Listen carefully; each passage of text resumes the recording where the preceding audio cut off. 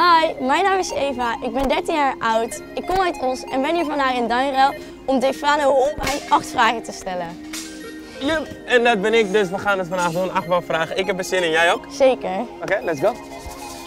Mijn naam is Defano Holwijn, YouTuber en vandaag achtbaan vragen. Let's go.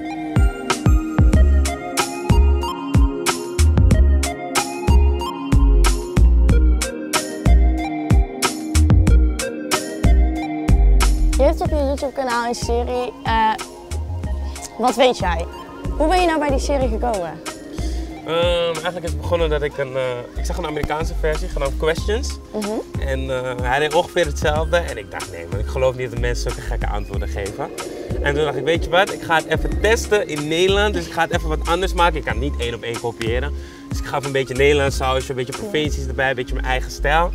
Heb ik de eerste keer getest in Amsterdam. En toen Ja? zag ik, wow, het, is, het werkt echt, snap Ja. je? Dus mensen geven gewoon echt gekke antwoorden. En vanaf toen vond ik het helemaal leuk om te doen en ging ik gewoon door. Dus Ja, dat is zodoende, Ja. En eh, je hebt ook meegedaan aan Misfit, de film. Eh, zou je nou vaker acteerwerk willen doen? Ja, ja, ja, ja. Ik zou zeker eh, meer acteerwerk willen doen. Want sinds ik de eerste heb gedaan, ging het best wel snel voor mij. Want mijn eerste film was in 2017. En we zijn nu ja, twee jaar verder. Ik heb nu zes gedaan. Dus eh, ik, zou, ik zou zeker wat meer willen doen. Ja? Ik, vind- ik vind het gewoon echt leuk. En die set is echt groot. En Ja. een beetje eh, je inleven in anderen. En waar komt nou echt jouw passie voor acteren vandaan? Mm, die, is, die is echt een soort van ontstaan. Het kwam gewoon. Want kijk, vroeger keek ik wel eens eh, keek ik wel GTST. Ja? Dat vond ik echt heel tof vroeger. En ik heb daar ook wel eens in gefigureerd. Mhm. Maar toen dacht ik nooit per se van, nou ja, ik zou echt willen acteren. Mhm. Maar ik denk vanaf de eerste film, toen ik de eerste film had gedaan, dacht ik, wow, dit is wel echt tof, Ja. dit is wel anders. Je hebt natuurlijk ook eh, wel eens op een set gestaan, maar niet een filmset. Dus ik dacht van, dit is toch wel groter en leuker. Dus Ja, eh, snap en toen ontstond die eigenlijk nog meer. Dus zodoende. Nice.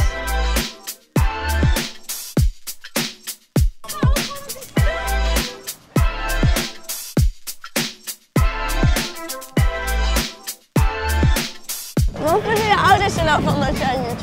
Ja, die vinden het hartstikke leuk. Ja? Ja, ja, ja. Ja, die vinden het echt wel leuk. Ja. Die zijn gewoon blij. Wow! Dat ik eh, ga voor. eh, dat ik mijn dromen volg, snap je? Ja. Dus. eh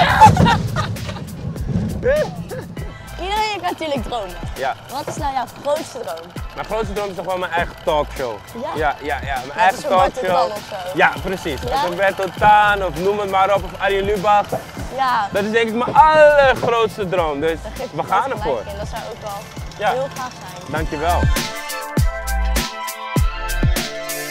Ik heb natuurlijk jouw liedjes geluisterd, Ja. zoals Baby Fever. Yes! Maar met wie zou jij nou heel graag nog een nummer op willen nemen? Rihanna. Zijn er ook nog Nederlandse artiesten? Ah, Marco Bassato. Marco Borsato? Ja. En, eh en ik. eh Guus Meeuwis.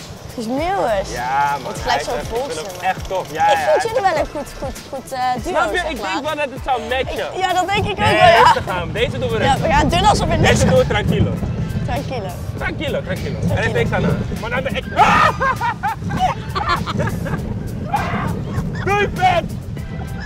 Zijn net fans van jou tegengekomen en die met je op een foto willen. Ja. Wat is nou jouw gênantste fanmoment geweest? Gewoon echt waarvan je denkt van nee, Ja, kijk, het, het, ja. Er zijn wel eens gewoon... daar ligt hij. Waar? Hier. Zag je hem? Ja. Oh, doodlachen. Kijk, we gaan er zo overheen. Ja? Ja, hij oh, ligt wacht. onder je. Laten we even kijken. we- Ik denk wel eens, hebben gewoon jonge meisjes me gevraagd van kan je alsjeblieft op me, boven mijn borsten een, handtekening Nee. zetten? En dan denk ik altijd van, nee, dat Nee, dat gaan we even mooi niet dat doen. gaan we even mooi Nee. doen. Dat, is echt, dat was denk ik wel een van de Ja, dat snap ik. gênantste, ja. Even kijken.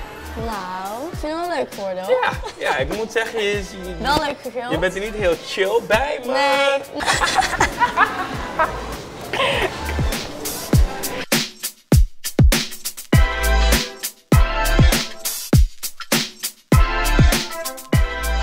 Nou, net in de achtbaan geweest.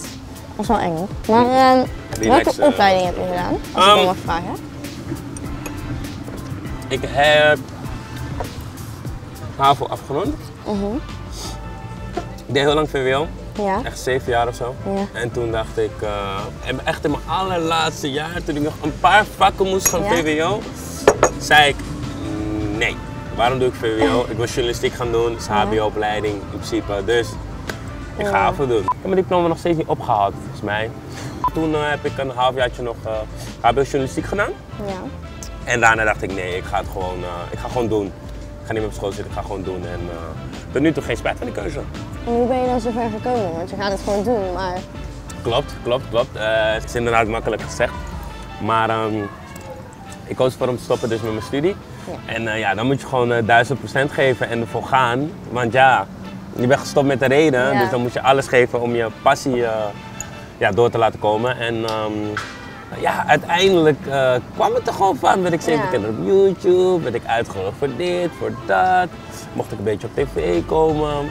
Hard dikkelen. gewoon doorgaan. En gewoon strijden, ja, ja. En ik raad iedereen aan. Niet opgeven. Iedereen kan het, weet je. Dus eh, je moet er gewoon voor gaan. Heb je nou nog tips en tricks voor mij om bijvoorbeeld door te breken in de muziekwereld? Oké. ehm, Eén.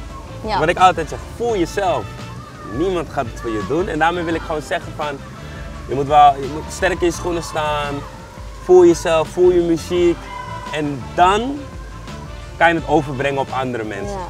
Oké, twee, blijf altijd oefenen. En maakt Ja. niet uit hoe dat is, misschien met je stem, met je teksten schrijven. Blijf altijd oefenen, want je bent nooit, je bent nooit klaar met oefenen. Je bent nooit klaar met ontwikkelen. Blijf altijd oefenen. Drie, kijk heel veel naar de mensen waar, je naar opkijkt. Van hé, ik vind hem of haar echt goed. Wat doet zij nou? Vier, kijk sowieso veel eh, interviews van muzikanten sowieso in het algemeen. Omdat iedereen heeft natuurlijk wel zijn eigen stijl. En jij gaat ook je eigen stijl creëren. Maar je kan ook een beetje afkijken. Een Ja. beetje van hier, hier, Ja. hier nemen. En vijf zou ik zeggen. ehm, ja, probeer, probeer een, een, een teampje te vormen. Want ja, ze zeggen altijd samen ben je sterker dan één. Nou, ik vond het wel leuk. Ja, dat is gezellig. Ja, hè? Gezellig, ja, ja. En er zijn nog heel veel meer attracties. Let's go. Vind ik wel een goed idee, Oké, hè? let's go. Hey grapjes en grapinnen, laat in de reacties weten wie jij meeneemt naar Duinruil en maak kans op kaarten naar Duinruil. Zo simpel is het.